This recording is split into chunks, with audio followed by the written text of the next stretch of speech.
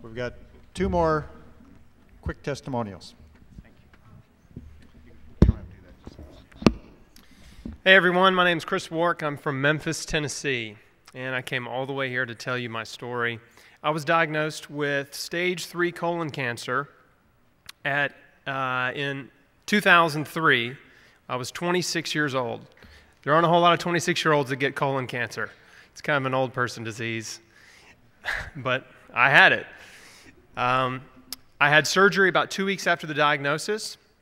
They took out a third of my colon. They took out a golf ball sized tumor. When I was in the hospital, um, the day I was checking out, I asked the surgeon, Is there any food I need to eat or avoid? Or he said, Nah, don't lift, just don't lift anything heavier than a beer. First meal they served me in the hospital after my surgery was a sloppy Joe. So what I did was I went home and ate sloppy joes and didn't lift anything heavier than a beer, and here I am. No, I'm just kidding. so um, they told me I'd have to do nine months of chemotherapy. I um, started researching chemotherapy when I realized that it would destroy my immune system and how ineffective it was. Uh, I decided I didn't want to do it.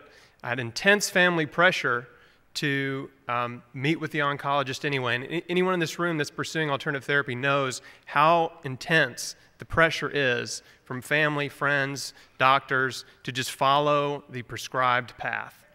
So I reluctantly agreed to go meet with an oncologist. My wife and I sat in his office. He told me I had a 60% chance of living five years, which is kind of true, because that's what all cancer patients have, but it wasn't specifically true for someone with colon cancer. So it was actually pretty deceptive.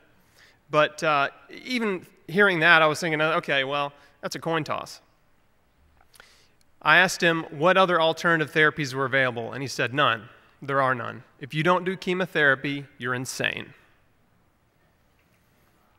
I asked him about the raw foods diet because I'd been reading up on it. He said, uh, that'll fight the chemo. You can't do that. I knew I was onto something when he said that. I asked him, uh, no, he also said to me, uh, Look, you know, I'm not telling you this because I need your business. Why would you say that? like, that was the furthest thing from my mind. But then when he said it, I was like, oh, wow, yeah, this is a business, isn't it? Yeah, yeah, it was very telling.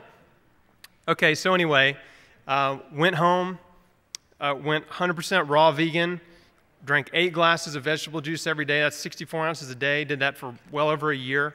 Worked with a local naturopath in Memphis named John Smothers. Um, I did every therapy I could find. There's no magic bullet. I, I took every herbal supplement I'd read about. I, I did vitamin C IVs.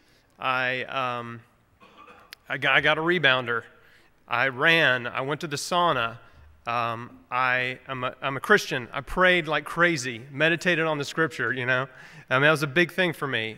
Um, and it's been eight years. All my tests are clean.